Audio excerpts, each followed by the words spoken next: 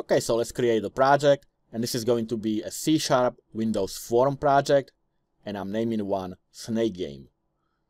So I'll click OK to create the project. Alright, so the project is created and we need to set our form and put some elements on it.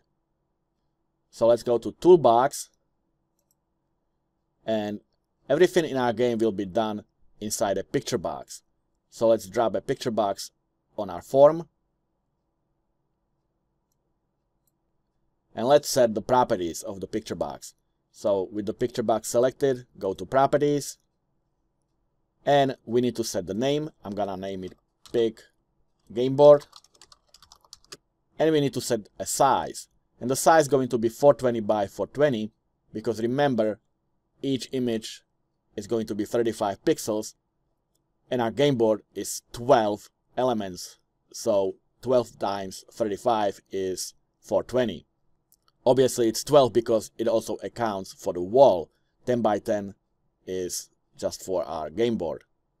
But then there is a a wall on the left top right and the bottom. So we have to account for that too. And therefore like I said the size will be 420 by 420 and my properties are off the screen so let me just make it smaller here so you can see it better. So size down here is like I said 420 and 420 so let's drop it on the form and make the form flow around it a little. The size of the form doesn't matter. Like I said everything is gonna be done within the picture box. But let's click the form now and at least change the name. And the name of the form I'm just going to call it FRM snake. The text on the form we don't have to change it because that's going to simply display the score and it will be dynamically updated as we move the snake. Another thing we need is a timer because with every tick of the timer the snake moves.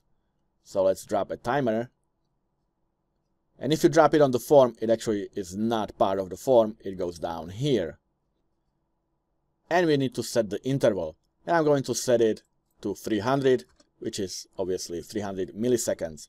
So that's fairly fast. If you want it slower you can make it maybe half a second. Actually let's do that 500 now as for the name we can leave it as is because we only have one timer but I'm still just gonna name it timer rather than timer 1 and we'll set the enable to true because when the game starts we want the snake to start moving.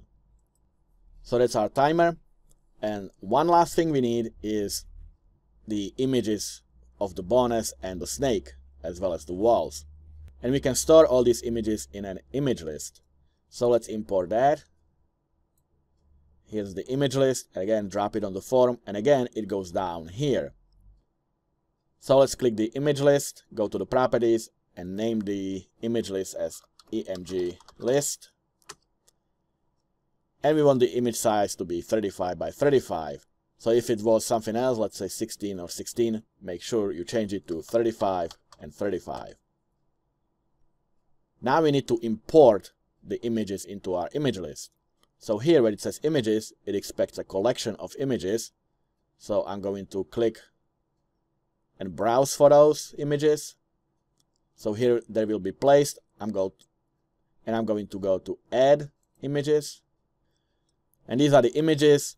I have them in a, on a desktop and a snake folder, but wherever you have them, simply find a folder, select all of them, and click open. And you can see the images are now imported into our image collection. And over here, the physical dimensions for each of these images is 35 by 35 pixels. Important thing to note is the order of these images because obviously that's very important. So the first four in our case is the bonuses, bonus 1, 2, 3, and 4. So that's the first four indexes starting from 0. Now index 4 is the snake body and index 5 is the snake head. And the last index, index 6, is the wall. Again, this is important because obviously when we draw the images on the board, we want to draw the correct ones. So this is done. Let's click OK. And our form is now ready and we are ready to code.